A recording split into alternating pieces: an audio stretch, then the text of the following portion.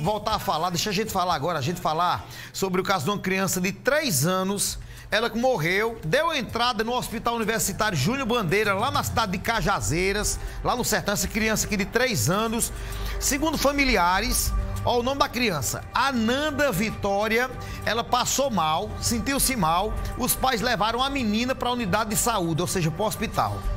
Ela morreu, a família alegou, né, que o hospital teria demorado no atendimento. A unidade hospitalar, ou seja, o Hospital Universitário lá de Cajazeiras, negou que tivesse acontecido qualquer negligência. Agora o caso está sendo investigado pela Polícia Civil. Deixa eu trazer o que disse o delegado lá da região e o porquê que esse caso está sendo investigado na Polícia Civil aqui na tela. Vai.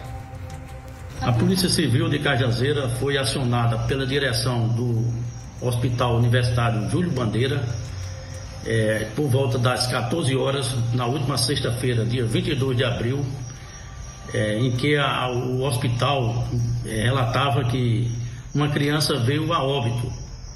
E após a, o óbito da criança foi verificado na mesma uma lesão na parte íntima. É, e que a médica plantonista é, solicitou que fosse encaminhado o corpo da criança para o IML para que fosse verificado se houve um abuso sexual ou se aquela lesão faria parte da própria doença.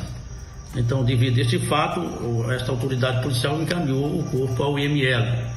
Sobre a questão de uma possível omissão por parte do hospital universitário, estamos colhendo as primeiras informações é, na oitiva, a mãe da criança disse que houve um retardamento, um atraso entre a transferência é, do hospital do municipal São João do Rio do Peixe para o hospital universitário Júlio Bandeira, aqui em Cajazeiras.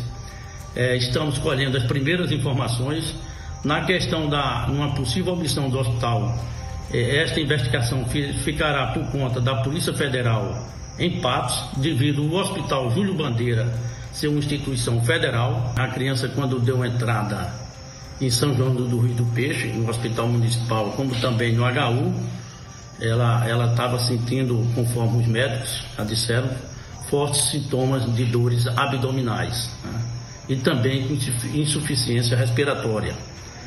E, e, lamentar também porque isso no dia 22 do 4, a criança estava com, é, com dois anos de idade e no próximo dia, dia 23, ela estaria fazendo aniversário, estaria completando três anos de idade, justamente no, no dia do seu sepultamento. Esse caso ganhou uma repercussão muito grande na região de Cajazeiras. Essa criança é de triunfo, tá? E no dia do sepultamento ela estaria completando três anos. Vamos continuar acompanhando isso aí, lá. Beijo, um abraço para todo mundo de Cajazeiras. Isso aí repercutiu muito na região lá, tá? Deixa aí com o Betinho Nascimento agora, porque.